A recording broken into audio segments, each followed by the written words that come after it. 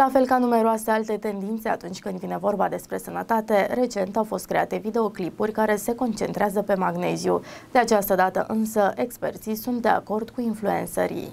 Magneziul poate avea un efect benefic notabil asupra corpului uman. Numeroși experți sunt încântați că beneficiile magneziului au devenit cunoscute. Studiul, la fel ca alte procente, a analizat ce efecte are magneziul în corp. Oamenii de știință au studiat peste 6.000 de persoane sănătoase din punct de vedere cognitiv. Acestea aveau vârste cuprinse între 40 și 73 de ani și proveneau din Marea Britanie. Persoanele au fost studiate pe o perioadă de 16 luni. În cazul persoanelor care consumă peste 550 de mg de magneziu zi, zilnic, vârsta creierului lor este de 55 de ani cu un an mai mică, în comparație cu cei care au un aport normal de magneziu de 350 de mg zilnic. Femeile beneficiază mai mult de efectele neuroprotectoare ale unei diete bogate în magneziu, în comparație cu bărbații. Beneficiile sunt cel mai pronunțate în cazul femeilor aflate la postmenopauză. Dincolo de ce efect are magneziul în corp atunci când vine vorba de sănătatea creierului, acest element poate duce și la o relaxare mai accentuată a mușchilor. Erin, coautoare a studiului a precizat că raportul ar putea duce la dezvoltarea intervențiilor de sănătate publică. Acestea ar avea scopul îmbunătățirii sănătății cerebrale și a reducerii riscului apariției demențe cu ajutorul dietei. Potrivit Organizației Mondiale a Sănătății, în prezent peste 55 de milioane de persoane suferă de demență la nivel global. Cea mai răspândită formă e boala Alzheimer. Experții au avertizat că numărul cazurilor este estimat să se tripleze până la 150 de milioane înainte de 2050, relatează uzit.ro.